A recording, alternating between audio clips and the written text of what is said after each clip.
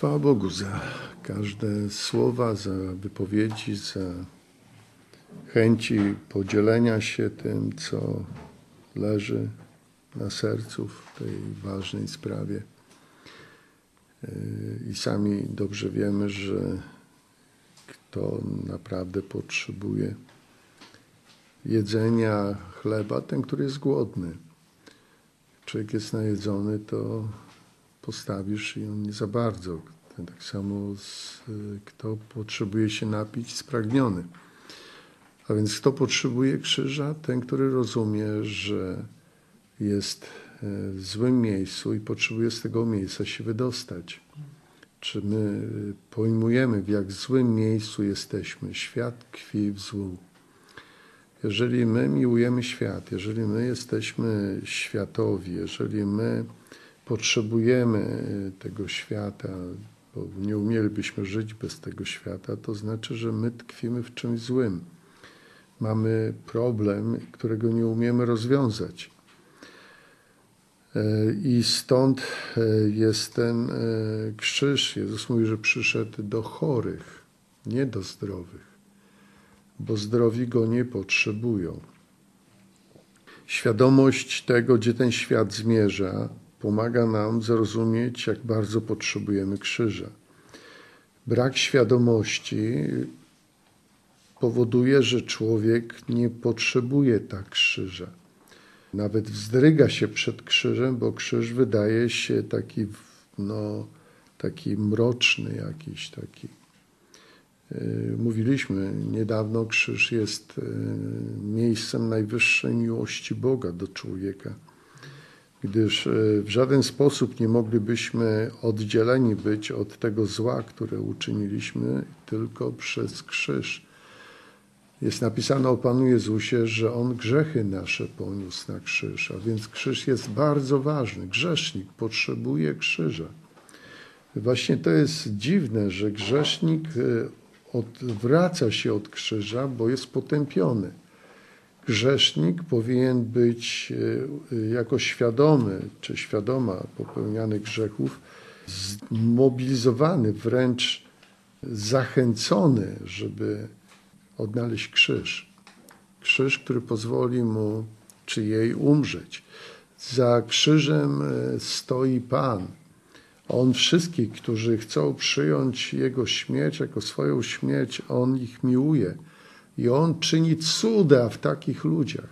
Pamiętacie, jak On mówił, kto do Niego przyszedł, niech Ci się stanie zgodnie z wiarą Twoją?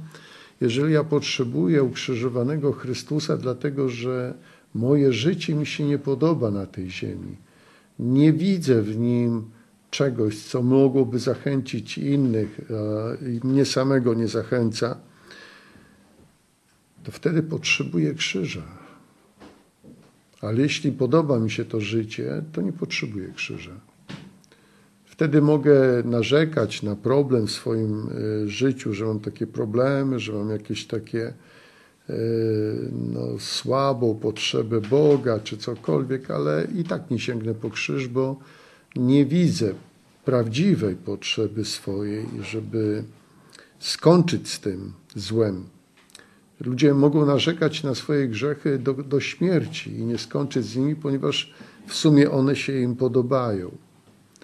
Jeżeli rozumiemy, że zapłatą za grzech jest śmierć i gehenna jest krańcowym miejscem dla wszystkich grzeszników, to my nie chcemy trafić do gehenny, jeżeli nas, nas stanęła nam na drodze Ewangelia z wiadomością, że nie muszę iść do Gehenny, mogę iść do domu Ojca. Wystarczy, że skończę swoje życie.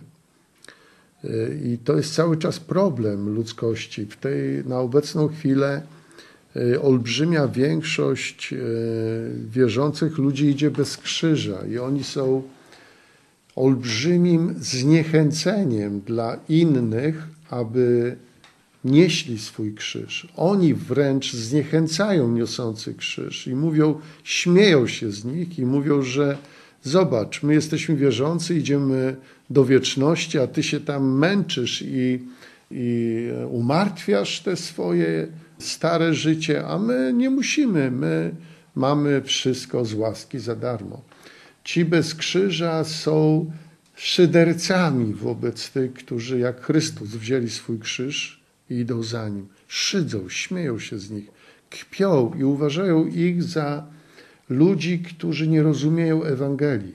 Tak to wygląda na obecną chwilę. Wielu powołanych, niewielu wybranych. Większość wierzących ludzi nie zna krzyża, nie zna mocy krzyża i go nie potrzebują, bo oni mają łaskę i są zbawieni i oni krzyża nie potrzebują. Oni bez krzyża są zbawieni. A Pan Jezus mówi, że kto idzie za mną, a nie niesie krzyża, nie może być moim uczniem. A więc nie będzie mógł się nauczyć prawdy. Czy nie mogła nauczyć prawdy. Im bliżej przyjścia Jezusa, tym więcej ludzi wierzących jest bez krzyża. Miłość wielu oziębnie, wielu się odwróci. Gdy już będzie całkiem blisko i antychryst się ujawni, będzie niewielu ludzi wierzących, idących dalej z krzyżem. Całe głoszenie w wielu miejscach jest przeciwko krzyżowi. Ono zapewnia grzesznikowi wieczność, bo Bóg kocha grzesznika. Większość głoszonej Ewangelii zapewnia wierzącym ludziom wieczność, dlatego że Bóg ich kocha, a więc ich weźmie do swojej wieczności, bo ich kocha. Bóg jest napisane, miłuje wszystkich ludzi i dlatego dał swojego syna. Za nas, za mnie i za ciebie, abyśmy obumarwszy grzechom dla sprawiedliwości żyli. A więc łaska daje nam możliwość porzucenia złego życia, a nie zgadza się na złe życie. A więc ogólne zwiastowanie ma pomóc człowiekowi bez krzyża spokojnie iść do śmierci. Tacy ludzie umierają spokojnie. Oni są przekonani, że y, idą już do Pana. Tylko ostatni oddech już idą do Pana. Oni za chwilę będą się cieszyć tam w niebie. Ci na ziemi będą jeszcze tam się męczyć, a oni już się będą cieszyć. Co jest oszukaniem, zwiedzeniem. Nikt nikogo nie wyprzedzi w drodze do Pana. Więc będziemy się cieszyć wszyscy razem, kiedy wróci Pan. Umarli powstaną, a ci, którzy są żywi, będą przemienieni i razem wszyscy wyjdziemy naprzeciw Pana, jako doskonale jak On. A więc kto naprawdę dzisiaj potrzebuje krzyża? Grzesznik. Świadomy grzesznik. Potrzebuje krzyża. Ten, który nie zasłania, nie udaje, nie kombinuje. I ten świadomy grzesznik doznaje mocy krzyża, który uwalnia tego grzesznika od jego grzechów. Niesamowita moc krzyża. Ten grzesznik lgnie do Boga, aby przyjąć zwycięstwo krzyża, i krzyż pokonuje jego grzeszność, dając mu swobodę. To jest moc krzyża. Jest niemożliwe, żeby krzyż Chrystusowy nie uratował grzesznika. Bo Pan Jezus przyrównuje to do tej sytuacji z pustyni, kiedy Izrael szedł i jak tam wąż, węża wywyższył Mojżesz na pustyni, tak musi być wywyższony Syn Człowieczy, aby każdy, kto w Niego wierzy, nie zginął, ale miał życie wieczne. A więc tak samo jak y, Izraelici patrzyli na tego miedzianego węża i ukąszenia diabelskie nie działały, tak samo my, patrząc na Chrystusa, jesteśmy zabezpieczani przez Niego, aby to, czym diabeł chciałby nas skrępować i sprowadzić do martwoty, nie działało. To wszystko ginie, niszczone jest. A więc kto naprawdę potrzebuje krzyża? Ten, który jest świadomym tego, że nie da rady być chrześcijaninem bez krzyża, chrześcijanką.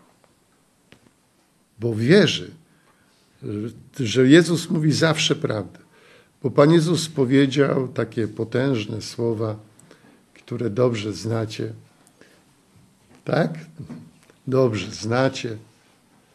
2 Koryntian 5,14 dalej.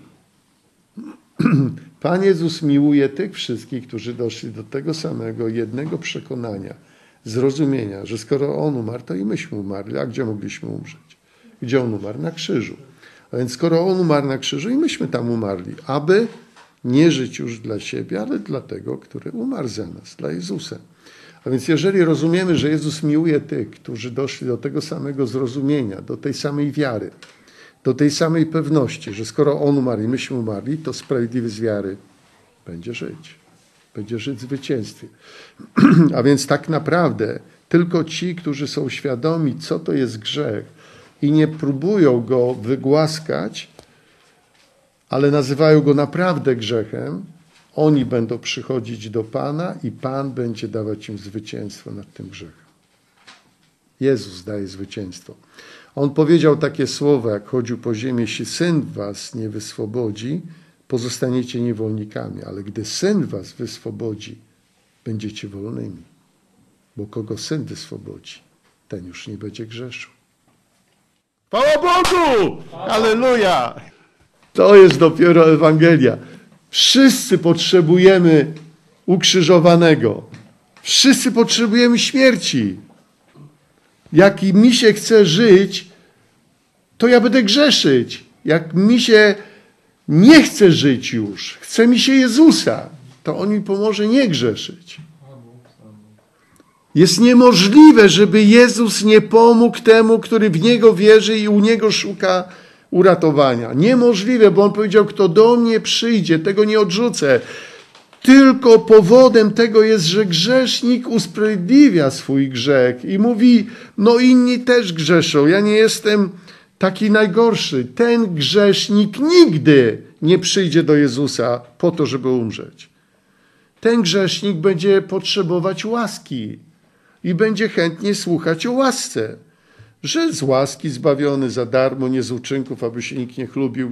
I ten grzesznik będzie mówić, ja jestem uratowany z łaski. Będzie pilnować tej łaski, jak ten grzesznik, który nie chce żyć w grzechu, krzyża. Jeden będzie pilnować krzyża, a drugi będzie pilnować łaski. Który się uratuje? Ten, który pilnuje się krzyża. Bo łaska bez krzyża nie działa bo z powodu łaski Jezus Chrystus umarł na krzyżu, abyśmy my tam umarli. A więc Ewangelia jest zwycięstwem i każdy z nas może się uratować, gdy naprawdę, naprawdę, gdy zgrzeszysz, nazywasz siebie grzesznikiem czy grzesznicą. I kiedy nie próbujesz powiedzieć, no bo to wszyscy tak robią, więc chyba to nie jest takie złe. Pamiętacie tego e, psalmistę, który pisze i mówi, gdy patrzyłem na tych wierzących ludzi, którzy tak sobie żyją lekko, to pomyślałem, że może ze mną jest coś nie tak, że ja mam tyle doświadczeń, tyle przeszkód na tej drodze, tyle muszę umartwiać to, co we mnie jeszcze jest do niedobrego. A oni sobie żyją, cieszą się, dzieci ich schodzą zdrowe, aż doszedłem do zrozumienia i pojąłem, co ich czeka, gdy dobiegną do końca. I wtedy dopiero zrozumiał, jak cenne jest to, kiedy Ty naprawdę chcesz, aby to Jezus, Jezus żył w Tobie. Naprawdę chcesz. Naprawdę chcesz. I zawsze, kiedy tylko cokolwiek dzieje się, Ty puszczasz Jezusa przodem. Nie próbujesz żyć sam czy sama bez, bez Niego. A więc odpowiedzią dla każdego grzesznika jest Chrystus Jezus, Jego ukrzyżowanie. Wszyscy zgrzeszyliśmy i zabrakło nam chwały Bożej. Rozumiecie, my, prawdziwie świadomy człowiek, który żyje na tym świecie i zdaje sobie sprawę, że nic nieczystego nie wejdzie do wieczności, ten człowiek zawsze potrzebuje Jezusa Chrystusa we wszystkim. Jezus temu człowiekowi pomoże, bo kto przychodzi do Pana, temu Pan pomoże. Kto będzie wzywać imienia Pańskiego, będzie zbawiony. Ta niewiara w moc krzyża spowodowała to, że ludzie przesunęli się w stronę łaski bez krzyża i skupili się na łasce, zostawiając krzyż. I to jest niebezpieczne. I dlatego mamy takie zepsucie wśród wierzących ludzi, bo nie ma krzyża. Jedynie krzyż oddziela od grzechu. Zwróciliście uwagę, że przy Jezusie najbardziej skupiali się grzesznicy. A ci tak zwani święci uważali, że on, on nie jest im tak potrzebny. Skąd mogę wiedzieć, czy grzeszę, czy nie? Jezus mówi, że grzeszy każdy, który nie chce być jak On. Jeżeli nie chce być jak Jezus, już grzeszy. A resztę grzechów to jest tylko wynik tego. Czy chcesz być jak Jezus na tej ziemi? To jest najważniejsze. Później ta słabość i, i, chodzenie w tych upadłościach to jest tylko już wynik tego, że człowiekowi nie zależy na tym, żeby być jak Jezus. Jezus na 100% żyje i pomaga wszystkim, którzy są świadomi, że żyjąc na tej ziemi nie mogą żyć bez Niego. Jest gotów pomóc każdemu. Jest to niesamowite, że e, Izraelici, Judejczycy mieli świątynię, mieli kapłanów, arcykapłanów, ofiary. E, byli ludem e, wybranym. Pogan uważali za gorszych, nieczystych. Nigdy by nie pozwolili poganinowi wejść do świątyni. A Pan Jezus, kiedy przyszedł, zrównał ich z nami i powiedział, że wszyscy oni i my go potrzebujemy, a więc jednakowoż ani świątynia, ani ofiary, ani zakon nie był w stanie ich e, doprowadzić do jakiejś wyższości nad nami. Oni byli tak samo grzesznikami jak my, a może nawet jeszcze większymi, bo większy ma grzech ten, który wydał Jezusa niż Piłat, który skazał go na ukrzyżowanie. A więc nieważne było, że mieli świątynię, że mieli święta, uroczystości, sabaty, wszystko, byli grzesznikami, potrzebowali Jezusa. Powiedział im, jeśli nie przyznacie się, to ślepymi pozostaniecie. Jeśli się przyznacie, to was uratuje, ale jeśli nie przyznacie się, to zginiecie. A więc nazywajmy grzech grzechem, a krzyż krzyżem. I wtedy będzie tak, jak być powinno. Każdy może się uratować. Jeżeli żyjesz w grzechu, to jest wyłącznie Twoja wina. Nie to, że jesteś słaby czy słaba i nie możesz inaczej. Możesz wygrać. Tylko patrz na krzyż. Słowo Boże mówi, patrząc na Chrystusa, sprawcę, dokończyciela wiary, porzucajmy wszystkie grzech, ciężar, biegnijmy za Nim. Masz zwycięstwo. On ma moc Ciebie uratować. Jezus nadal żyje i nadal ma moc ratować grzeszników, ale każdy grzesznik musi się go złapać i nie puścić się. Nie puszczę Cię, Panie. Nie puszczę. Jakub walczył o błogosławieństwo i powiedział: Nie puszczę Cię, aż mnie powiesz, że będziesz mi czynił dobro. Musisz wiedzieć, że grzech doprowadzi cię do gehenny, a ty nie chcesz zginąć w gehennie. Nie chcesz innym mówić Ewangelii, która będzie y, skłaniała innych do lekceważenia krzyża. Nie chcesz im mówić, że bez śmierci mogą wejść do życia. Nie chcesz ich uczyć kłamstwa. Chcesz mówić prawdę sobie i wszystkim, wśród których przebywasz. To jest bardzo ważne bo wtedy będziesz codziennie myśleć właśnie w ten sposób. Z Panem moim pokonam wszystkich wrogów moich. Z Panem moim przeskoczę wszelką niemożliwość. Pan Jezus pomoże mi. Kiedy tak wierzysz w Niego, Twoja wiara jest pewna Chrystusa, zwyciężysz, pokonujesz przeciwności, stajesz się innym człowiekiem.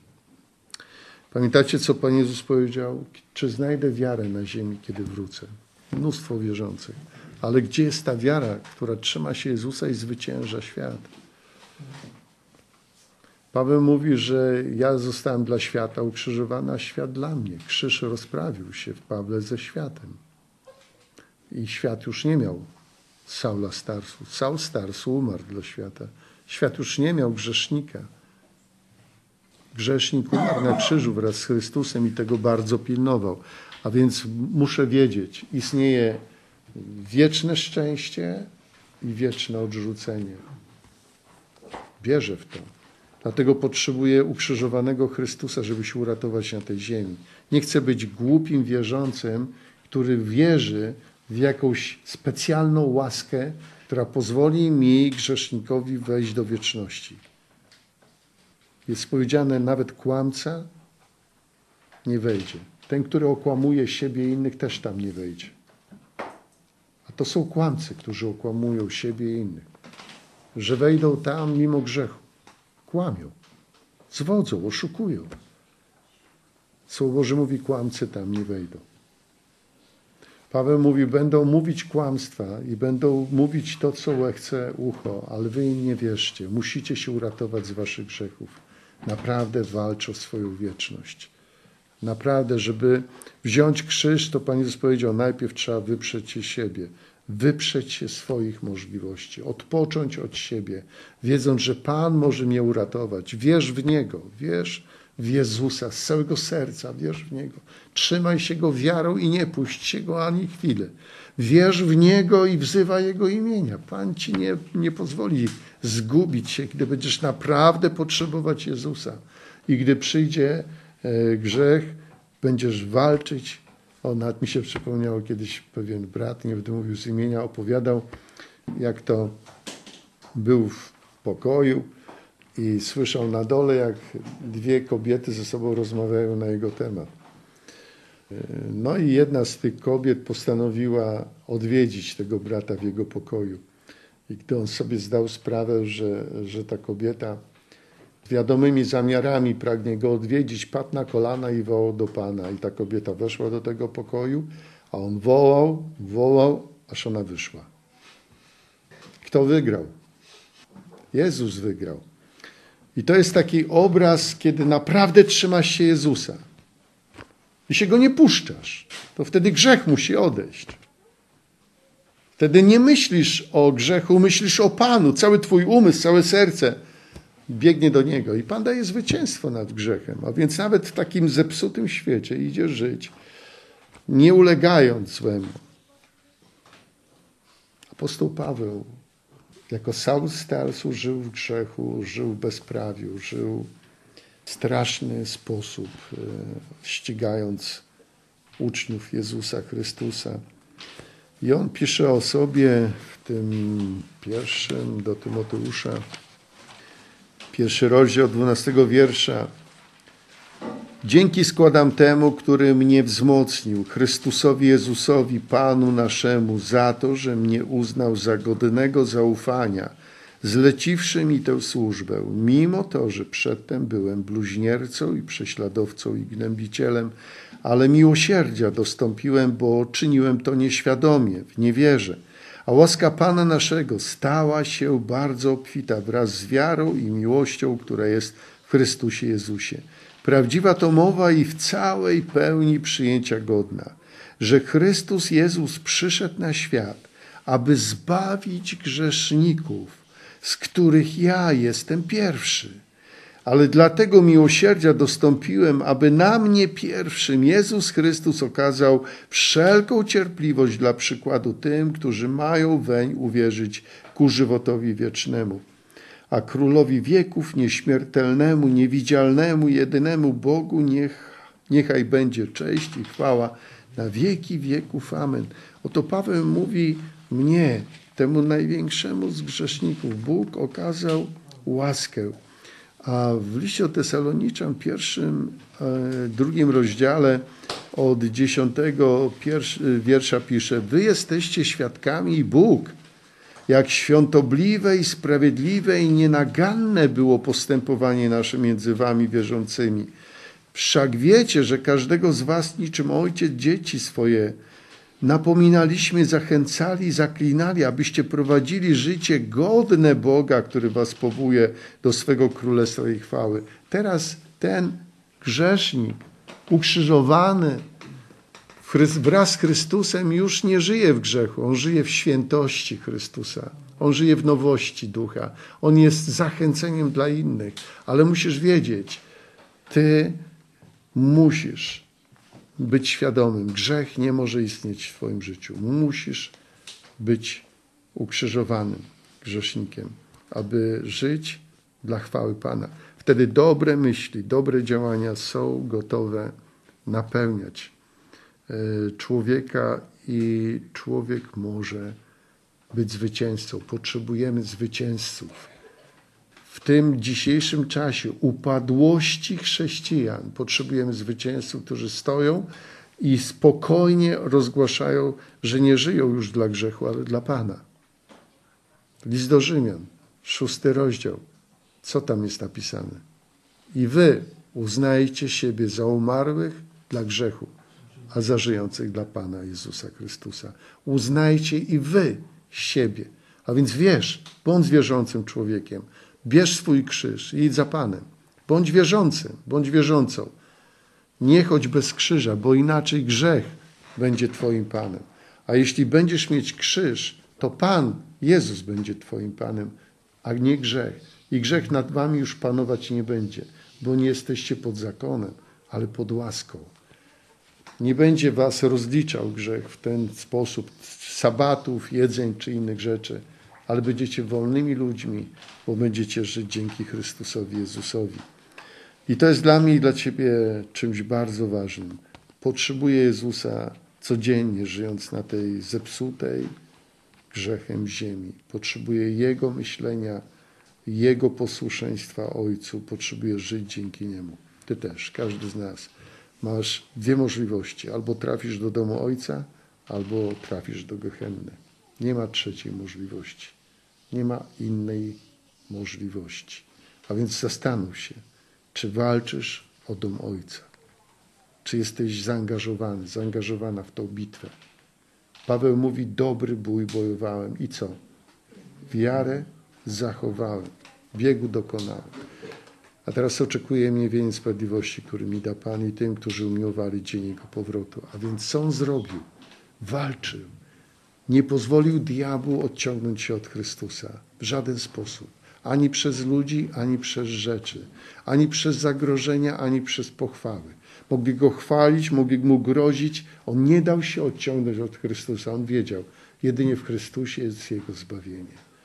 Nie w ludziach, nie w przedmiotach, ale tylko w Chrystusie Jezusie. Walcz o swoją wieczność. Ona naprawdę istnieje. Wieczność z Bogiem istnieje. Tam poszedł Jezus przygotować miejsce i gdy przygotuje, wróci po tych, którzy co? Na Niego czekali. A czekając, co robili? Uświęcali się, oczyszczali się. Bez tego nikt nie zobaczy, a więc nie zobaczy Pana. Będzie coraz gorzej, coraz więcej ludzi będzie odstępować od Pana, będą rezygnować z Jego zwycięskiego zwycięstwa na krzyżu, zwycięskiego życia. Będą tłumaczyć siebie, będą chwalić nawet siebie za to, że nie są najgorszymi. Przykro mi, ale to są zwodziciele. Służą diabłu już. Lepiej, jeśli jesteś grzesznikiem, wierzącym grzesznikiem, przyznawaj się i żałuj za swoje grzechy. Niech inni wierzący widzą, że chociaż żyjesz w jakimś upadku, jednak jest ci wstyd i nie chcesz tak żyć. Wtedy nie będziesz zwodzicielem, przynajmniej nie będziesz zwodzicielem udającym wierzącego, zadowolonego, że idziesz do wieczności, a żyjącego w upadłości. Lepiej być jawnym grzesznikiem niż zwodniczym, wierzącym, który ukrywa swoje grzechy. Bo kiedy wychodzę na jaśnie, to znaczy, że chcę się uratować. A jeśli skrywam, to znaczy, że chcę oszukać. Oszust tylko skrywa. Człowiek, który jest jawny, choćby miał coś złego, jest jawny. Słowo Boże bardzo wyraźnie mówi, kto ujawnia swój grzech, wyznaje, ujawnia. Chce się oczyścić. Pan daje oczyszczenie. Możesz się uratować, każdy z nas może się uratować. Diabeł nie ma mocy zatrzymać żadnego grzesznika, który w Jezusie odnajduje Zbawiciela. Nie ma mocy. Pan Jezus wyprowadzi cię z wszystkich Twoich grzechów. On przyszedł zbawić nas od grzechów naszych. On tak jest napisane. Przyszedł zbawić lud swój od grzechów naszych. Nie musisz żyć w grzechu, możesz żyć na wolności, ale Jezus musi stać się Twoim Zbawicielem. Więcej znaczącym dla Ciebie niż ten grzech, bo On, on staje się większym i wtedy grzech staje się nic nie warty. Tak, tak się dzieje właśnie. Jezus staje się większym, a grzech staje się nic nie wartym. Wtedy porzucasz grzech, a nie Pana Jezusa. Nie każdemu ta prawda daje świadomość, że będziemy żyli w coraz trudniejszych czasach. Miłość wieloziemnie, wielu odwróci się od Pana i wielu będzie twierdzić, że oni do Niego należą. Wiecie, za kim pójdą? Za antychrystem, bo powiedzą, że to jest Chrystus. A za głupców uznają tych, którzy nie pójdą za antychrystem i będą ich nienawidzieć i będą chcieli ich wybić z tej ziemi. Po której stronie wolisz być? Czy tej chwilowej przewadze wydawałoby się, bo wielu wierzących zginie wtedy? Czy po tej stronie, choćbym umarł, żyć będę, bo należy do Jezusa? Niech Bóg daje Ci siłę. Zapłatą za grzech jest śmierć, ale z łaski Bożej jest życie wieczne w Jezusie Chrystusie. Amen. Amen.